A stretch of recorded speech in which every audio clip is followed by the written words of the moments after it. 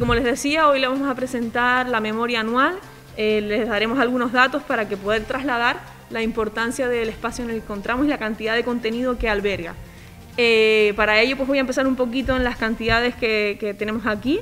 Eh, este archivo municipal alberga 2.513 metros lineales de documentos. esta cifra sale de la colocación de medir el número de cajas colocadas verticalmente nada más y nada menos que casi dos kilómetros y medio de documentación, que abarca desde el siglo XIX hasta el año 2021. Por eso estamos haciendo la memoria y este año ya en los meses que hemos estado se ha ido ampliando también.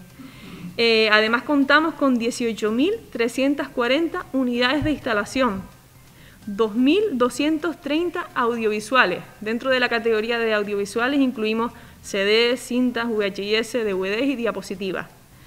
Contamos también con 4.703 libros administrativos, 78.991 fotografías, que se dice fácil, pero son 78.991, que están además todas catalogadas por el personal del archivo para que cualquier persona que quiera hacer una consulta concreta de un tipo de fotografía, pues pueda aparecer eh, sobre la marcha y sea mucho más cómodo. Tenemos 6.165 carteles 2.574 programas que representan la actividad cultural y festiva del municipio, folletos y demás.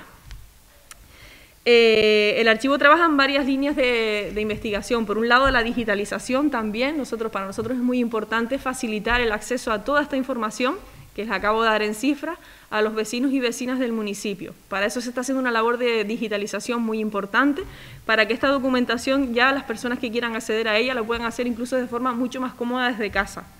Eh, ya hemos conseguido digitalizar todas las actas de los plenos hasta el año 1999, que se puede consultar de forma telemática.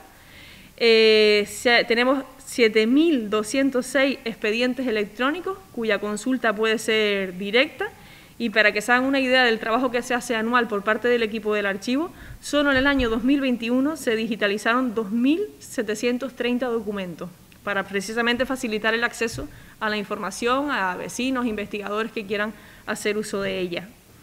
El archivo cuenta con un servicio interno, que es, por ejemplo, la digitalización de todos estos documentos, y también un servicio externo que para nosotros es muy importante, y es acercar todos estos servicios a la ciudadanía, para que la gente aproveche y haga, haga uso de ellos. Esto es un recurso que el ayuntamiento ha priorizado desde hace muchísimos años, desde que el alcalde lo comentaba antes, la transformación que ha tenido, porque para el ayuntamiento de La Rotava es muy importante contar con espacios dignos como este donde albergar y custodiar la historia del municipio.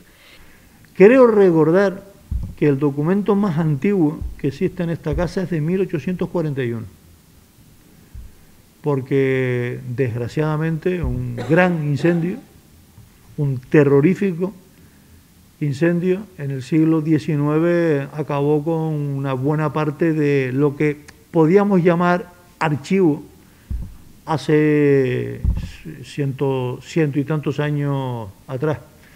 Eh, recuerden el efecto maléfico que las velas y al no haber luz eléctrica, desgraciadamente jugaron en el patrimonio de archivo y en el patrimonio histórico a lo largo del siglo 19.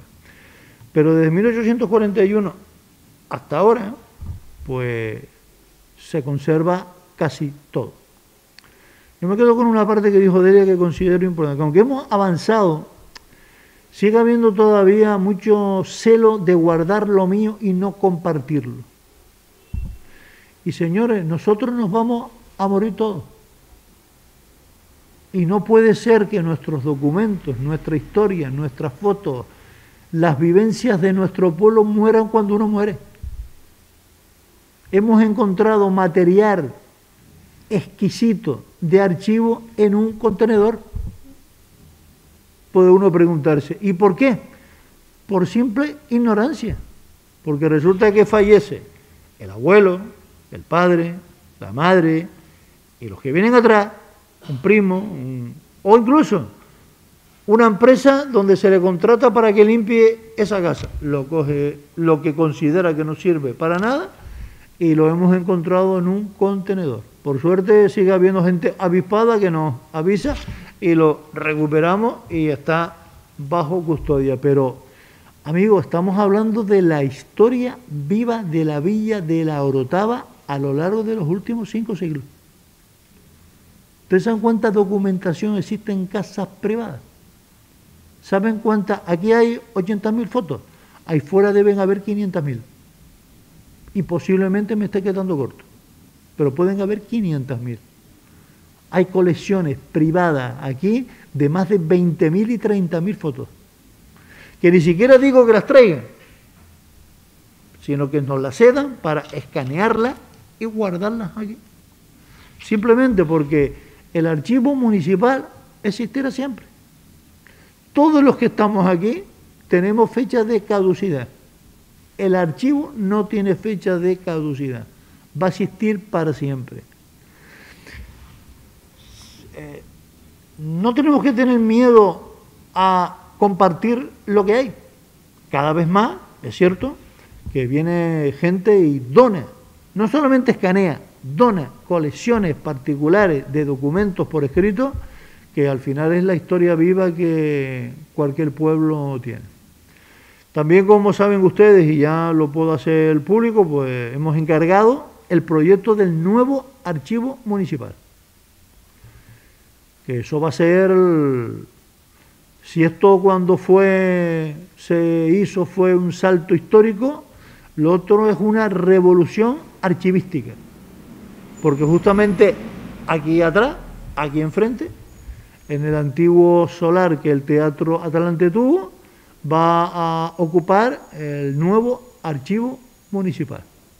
El proyecto se lo hemos encargado a GESPLAN y nuestra intención es que en unos cuantos años pues, nos desubiquemos de esta zona y podamos tener, no como ahora, la sede madre y las sucursales fuera, sino todo en un mismo sitio, en condiciones de presión atmosférica, de humedad, de habitabilidad perfecta.